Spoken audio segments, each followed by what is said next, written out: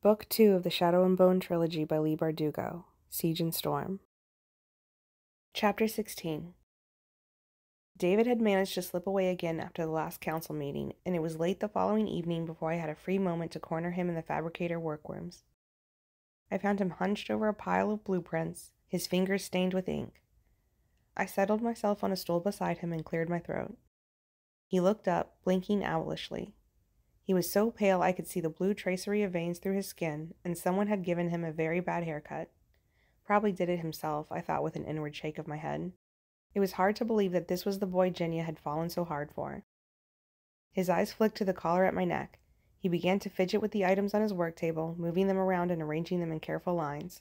A compass, graphite pencils, pens and pots of ink in different colors, pieces of clear and mirrored glass, a hard boiled egg that I assumed was his dinner, and page after page of drawings and plans that I couldn't begin to make sense of.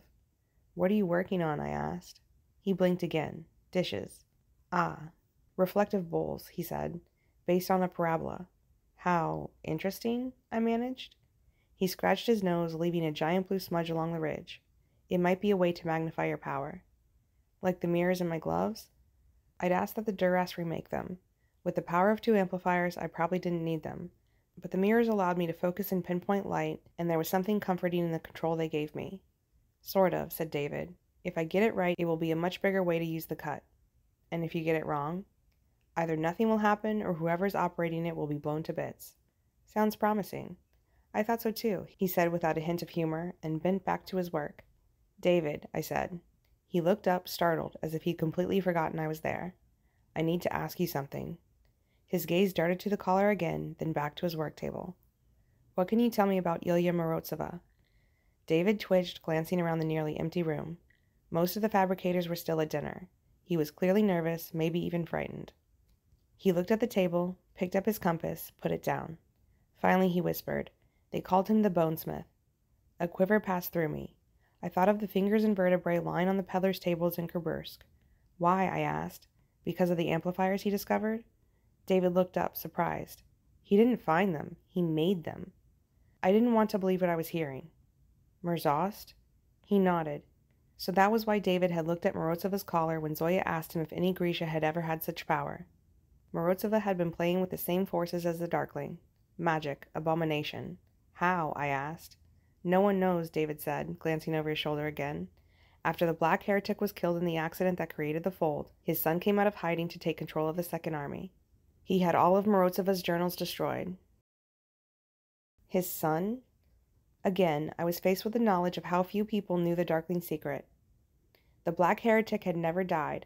There had only ever been one Darkling, a single powerful Grisha who had ruled the Second Army for generations, hiding his true identity. As far as I knew, he'd never had a son. And there was no way he would destroy something as valuable as Morozova's journals. Aboard the whaler, he'd said not all the books prohibited the combination of amplifiers. Maybe he'd been referring to Morozova's own writings. Why was his son in hiding? I asked, curious as to how the Darkling had managed to frame such a deception. This time David frowned as if the answer were obvious. A Darkling and his heir never live at the little palace at the same time. The risk of assassination is too great. I see, I said. Plausible enough, and after hundreds of years, I doubted anyone would question such a story. The Grisha did love their traditions, and Genya couldn't have been the first tailor the Darkling had kept in his employ. Why would he have had the journals destroyed? They documented Morozova's experiments with amplifiers. The Black Heretic was trying to recreate those experiments when something went wrong. The hair rose on my arms, and the result was the fold. David nodded. His son had all of Morozova's journals and papers burned. He said they were too dangerous, too much of a temptation to any Grisha. That's why I didn't say anything at the meeting. I shouldn't even know they ever existed. So how do you? David looked around the almost empty workshop again. Morozova was a fabricator, maybe the first, certainly the most powerful. He did things that no one's ever dreamed of before or since. He gave a sheepish shrug. To us, he's kind of a hero. Do you know anything else about the amplifiers he created? David shook his head. There were rumors of others, but the stag was the only one I'd ever heard of. It was possible David had never seen the Istorii Sankt'ya.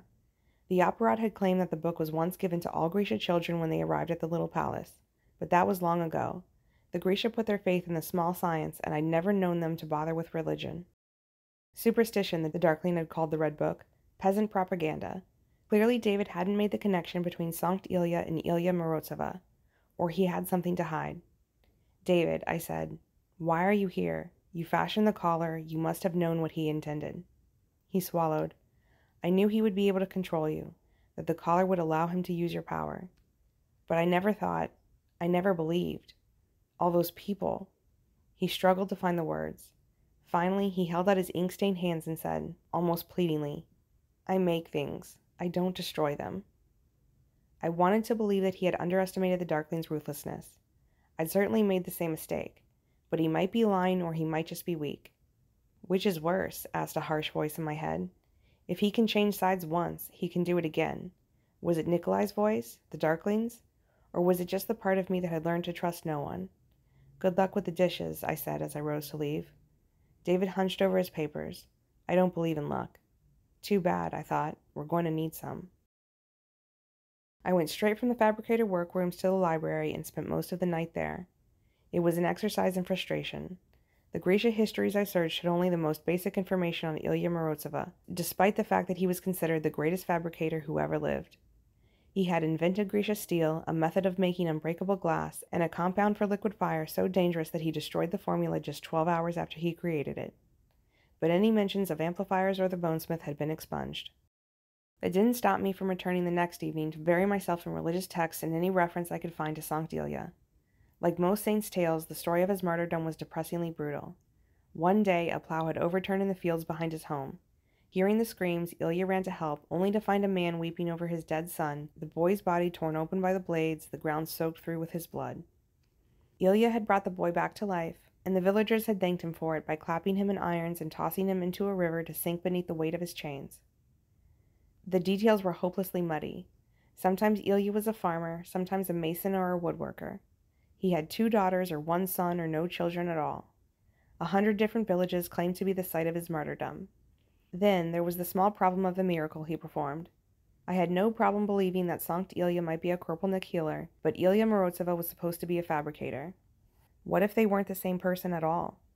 At night, the glass domed room was lit by oil lamps, and the hush was so deep that I could hear myself breathe.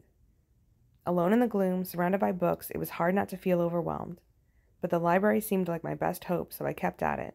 Tolya found me there one evening, curled up in my favorite chair, struggling to make sense out of a text in ancient Ravkan. You shouldn't come here at night without one of us, he said grumpily. I yawned and stretched. I was probably more in danger of a shelf falling on me than anything else, but I was too tired to argue. Won't happen again, I said. What is that? Tolya asked, lowering himself down to get a closer view of the book in my lap. He was so huge that it was a bit like having a bear join me for a study session. I'm not sure. I saw the name Ilya in the index, so I picked it up, but I can't make sense of it. It's a list of titles. You can read it? I asked in surprise. We were raised in the church, he said, skimming the page. I looked at him. Lots of children were raised in religious homes, but that didn't mean they could read liturgical Ravkan. What does it say? He ran a finger down the words beneath Ilya's name. His huge hands were covered in scars. Beneath his rough spun sleeve, I could see the edge of a tattoo peeking out. Not much, he said. Saint Ilya the Beloved, Saint Ilya the Treasured. There are a few towns listed, though, places where he's said to have performed miracles. I sat up straighter. That might be a place to start. You should explore the chapel. I think there are some books in the vestry. I had walked past the royal chapel plenty of times, but I'd never been inside. I'd always thought of it as the Apparat's domain, and even with him gone, I wasn't sure I wanted to visit.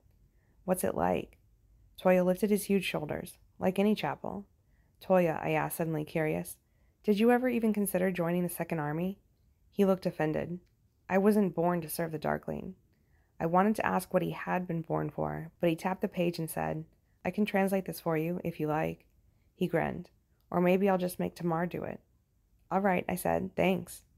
He bent his head. It was just a bow, but he was still kneeling beside me, and there was something about his pose that sent a shiver up my spine. I felt as if he were waiting for something. Tentatively, I reached out and laid a hand on his shoulder. As soon as my fingers came to rest, he let out a breath. It was almost a sigh. We stayed there for a moment, silent in the halo of lamplight. Then he rose and bowed again.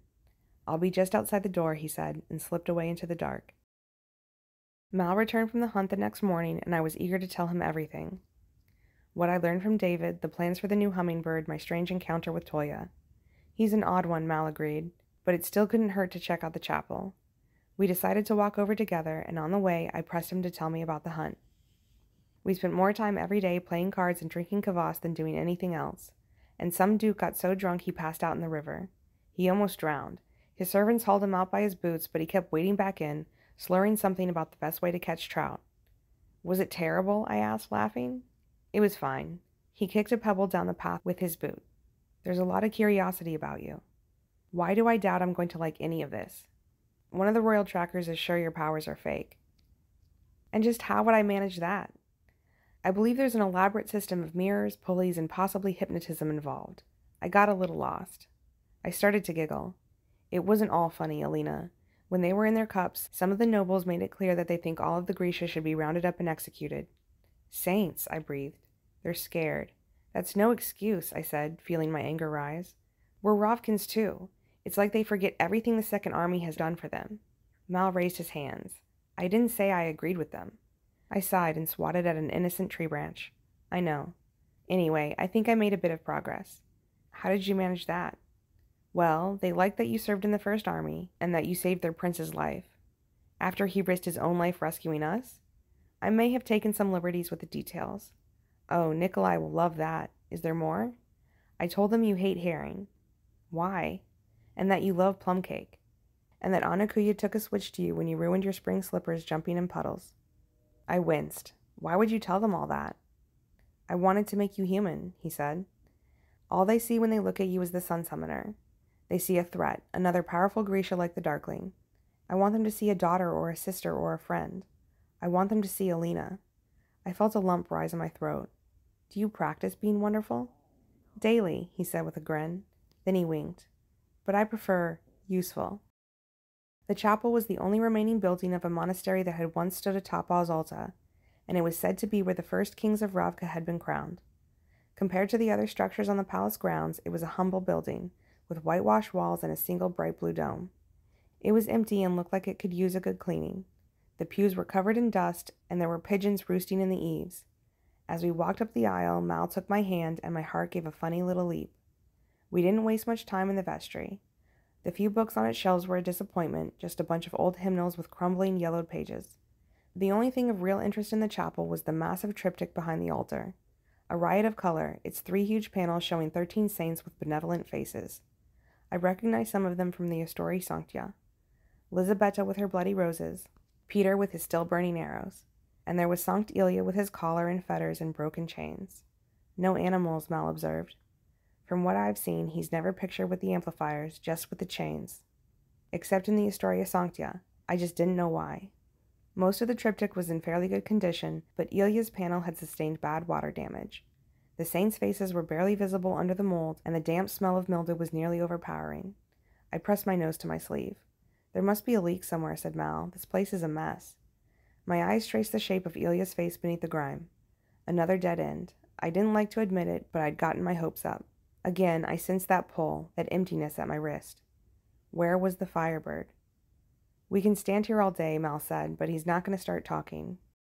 I knew he was teasing, but I felt a prickle of anger, though I wasn't sure if it was at him or myself. We turned to go back down the aisle, and I stopped short. The Darkling was waiting in the gloom by the entrance, seated in a shadowy pew. What is it? Mal asked, following my gaze. I waited, perfectly still. See him, I begged silently. Please see him. Alina, is something wrong? I dug my fingers into my palm. No, I said. Do you think we should check the vestry again? It didn't seem very promising. I made myself smile and walk.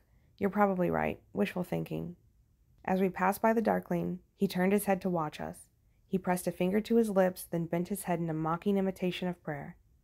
I felt better when we were out in the fresh air, away from the moldy smell of the chapel, but my mind was racing. It had happened again. The Darkling's face had been unscarred. Mal hadn't seen him. That must mean it wasn't real, just some kind of vision. But he'd touched me that night in his rooms. I'd felt his finger on my cheek. What kind of hallucination could do that? I shivered as we passed into the woods. Was this some manifestation of the Darkling's new powers? I was terrified by the prospect that he might have somehow found a way into my thoughts, but the other possibility was far worse. You cannot violate the rules of this world without a price. I pressed my arm to my side, feeling the sea whip scales chafe against my skin. Forget Morozova and his madness. Maybe this had nothing to do with the Darkling at all. Maybe I was just losing my mind. Mal, I began, not certain what I intended to say. The third amp. He put a finger to his lips, and the gesture was so like the Darkling's that I nearly stumbled. But in the next second, I heard rustling, and Vasily emerged from the trees. I wasn't used to seeing the prince anywhere except the Grand Palace, and for a moment I just stood there. Then I recovered from my surprise and bowed. Vasily acknowledged me with a nod, ignoring Mal completely. moi tsarevich, I said in greeting. Alina Starkov, the prince replied with a smile. I hope you will grant me a moment of your time. Of course, I replied. I'll be right down the path, Mal said, shooting Vasily a suspicious glare. The prince watched him go. The deserter hasn't quite learned his place, has he? I bit down on my anger. What can I do for you, moi tsarevich? Please, he said. I would prefer you call me Vasily, at least when we are in private. I blinked. I'd never been alone with the prince before, and I didn't want to be now. How are you settling in at the little palace? he asked. Very well, thank you, moi tsarevich. Vasily. I don't know that it's appropriate to speak to you so informally, I said primly. You call my brother by his given name. I met him under unique circumstances. I know he can be very charming, Vasily said, but you should know that he's also very deceptive and very clever. That's certainly true, I thought, but all I said was, he has an unusual mind. Vasily chortled. What a diplomat you've become. You've a most refreshing way about you. Given time, I have no doubt that, despite your humble antecedents, you will learn to conduct yourself with the restraint and elegance of a noble woman. You mean I'll learn to shut up? Vasily gave a disapproving sniff. I needed to get out of this conversation before I really offended him. Vasily might seem a fool, but he was still a prince. Indeed, no, he said with a stilted laugh. You have a delightful candor. Thank you, I mumbled. If you'll excuse me, your highness. Vasily stepped into my path. I don't know what arrangement you've made with my brother, but you must realize that he's a second son. Whatever his ambitions, that's all he will ever be. Only I can make you queen. There it was. I heaved an internal sigh. Only a king can make a queen, I reminded him. Vasily waved this talk away. My father won't live much longer. I as good as rule Ravka now. Is that what you call it? I thought with a surge of irritation. I doubted Vasily would even be in Os Alta if Nikolai didn't present a threat to his crown, but this time I held my tongue. You've risen high for a Keramzin orphan, he went on, but you might rise higher still. I can assure you, moi tsarevich, I said with complete honesty, I have no such ambitions. Then what do you want, Sun Summoner? Right now, I'd like to go have my lunch. His lower lip jutted out sulkily, and for a moment he looked just like his father. Then he smiled. You're a smart girl, he said, and I think you'll prove a useful one. I look forward to deepening our acquaintance. I would like nothing better, I lied. He took my hand and pressed his moist mouth to my knuckles. Until then, Alina Starkov. I stifled a gag. As he strode off, I wiped my hand surreptitiously on my kefta. Mal was waiting for me at the edge of the woods. What was that about? he asked, his face worried. Oh, you know, I replied. Another prince, another proposal. You can't be serious, Mal said with a disbelieving laugh. He doesn't waste any time. Power is alliance, I intoned, imitating Nikolai. Should I offer my felicitations? Mal asked, but there was no edge to his voice, only amusement. Apparently, the heir to the throne of Ravka wasn't quite as threatening as an overconfident privateer. Do you think the Darkling had to deal with unwanted advances from wet lipped royals? I asked glumly. Mal snickered. What's so funny? I just pictured the Darkling being cornered by a sweaty duchess trying to have her way with him. I snorted and then I started to laugh outright. Nikolai and Vasily were so different it was hard to believe they shared any blood at all. Unbidden, I remembered Nikolai's kiss, the rough feel of his mouth on mine as he held me to him. I shook my head. They may be different, I reminded myself as we headed into the palace, but they both want to use you just the same.